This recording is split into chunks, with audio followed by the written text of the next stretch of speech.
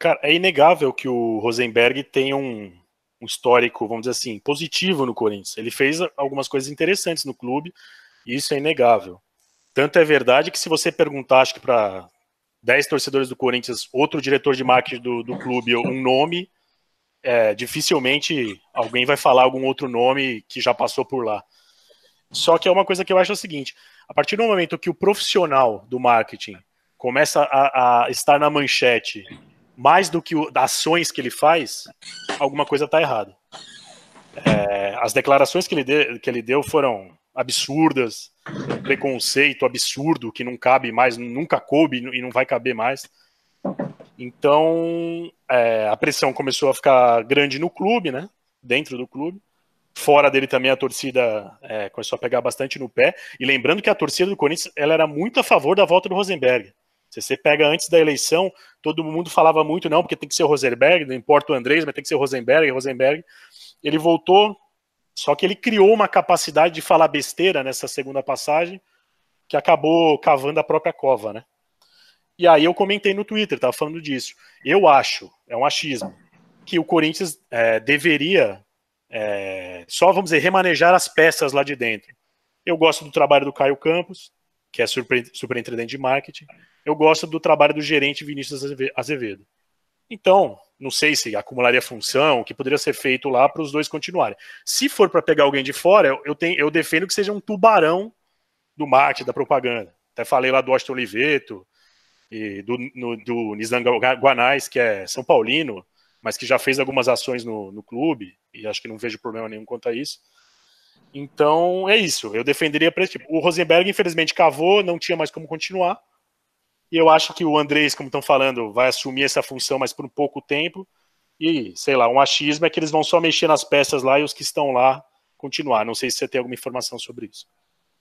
Então, ó, é, só deixa eu responder o Fernandes SCCP, que fala assim, histórico do Rosenberg, que histórico, ele fechou três bancos, não sei o quê, blá, blá, blá. É, assim, eu trabalho com da seguinte maneira: não existe herói e vilão, não existe bonzinho e malzinho, não tem alguém que tem só defeito, não tem alguém que tem só qualidade, tá? Eu tento ser o mais imparcial e isento possível. O Rosenberg, ele foi o cara que trouxe o Ronaldo para o Corinthians, tá? Ele que negociou a venda do Ronaldo.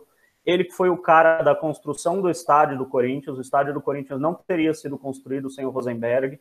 Então ele foi importante Sim, naquela época que o Corinthians caiu para a Série B, o negócio do corintiano roxo, que ajudou né, a reestruturar o marketing do clube, que ajudou a elevar a autoestima do torcedor do Corinthians no período talvez é, mais é, triste da história recente é, do clube, quando caiu para a Série B. Então, o Rosenberg foi importante sim. Não é a primeira vez que ele fala merda. É, o Ups bravíssimo, mentira. Quem trouxe o Ronaldo foi o Dr. Joaquim. Não, não foi não. E eu conheço os dois, tá? Posso falar. É, enfim, é, o Rosenberg não é a primeira vez que ele fala besteira. Em 2012, não sei se alguém lembra, eu lembro porque eu estava nessa entrevista coletiva, eu lembro muito bem. Ele falou que aquele time era medíocre em 2012, no Sim, primeiro semestre verdade. de 2012 ele falou que o time do Corinthians era medíocre. Depois o time ganhou a Libertadores e o Mundial. Os jogadores, depois que ganharam o Mundial, foram para cima dele. Tá vendo? O time medíocre ganhou o Mundial, não sei o quê. O que, que o então presidente Mário Gobi teve que fazer? Afastar o Luiz Paulo Rosenberg, porque senão ele ia se bobear apanhado dos jogadores que ficaram guardando isso até terem ganhado o Mundial e depois extravasaram. Então não foi a primeira vez que ele peca pelas palavras, né? E falou essa grande besteira aí que não convém nem citar é, na semana passada, acabou caindo. Eu acho assim, é uma figura importante da história recente do clube, mas não, não deu para segurar e precisava sair, precisa de renovação realmente. E só antes de passar para o Diego, uma explicação, porque o torcedor não tem obrigação nenhuma de saber esse tipo de coisa, até porque a nomenclatura muda muito de clube para clube. Tem clube que tem o vice-presidente de marketing, que é um cargo é, estatutário, e o diretor de marketing é comissionado, né? Então isso engana muito. No Corinthians, o diretor de marketing é um cargo estatutário, ou seja, não tem salário, é um cargo político escolhido pelo presidente do clube, não tem salário, ele não é funcionário do clube. O Rosenberg não era funcionário do Corinthians, não tinha salário. é, esses dois profissionais citados pelo Turco, eles têm salário, eles vivem disso, o Caio Campos e o Vinícius Azevedo, que são o superintendente e o gerente de marketing. Então, é, se eles deixarem a função deles e virarem diretor de marketing, eles param de receber o salário.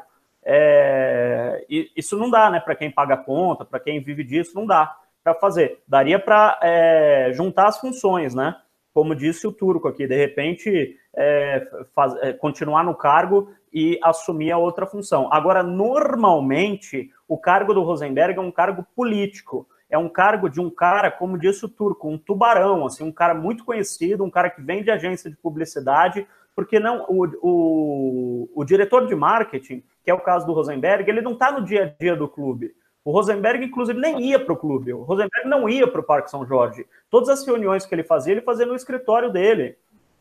Então, é, é, é, como se fosse uma vitrine do clube, o diretor de marketing. É o cara que representa o clube, mas quem trabalha mesmo no dia a dia são o superintendente e o gerente de marketing, claro, todo o pessoal da comunicação do clube. Então, às vezes, as pessoas confundem, né? Ah, o Rosenberg saiu, a comunicação vai parar, o marketing vai parar. Não, ele é como se fosse um chamariz, assim, né? Um cara do mercado que vai para as reuniões, leva o nome do clube para as reuniões, é como se fosse o o embaixador do clube. Agora, os caras que trabalham mesmo, esses são comissionados, são assalariados e continuam no clube do mesmo jeito, não vai mudar nada. E eu até acho que o provável substituto do Rosenberg vai sair de uma indicação desses conselheiros que assinaram a carta pedindo a demissão dele, porque foram diversos conselheiros importantes do clube, né, que assinaram essa carta é, do movimento Corinthians Grande, inclusive o Paulo Garcia, é, o Goulart, que é outro conselheiro importante, o ex-diretor financeiro, Piovesan, é, inclusive, é, alguns nomes né, importantes politicamente,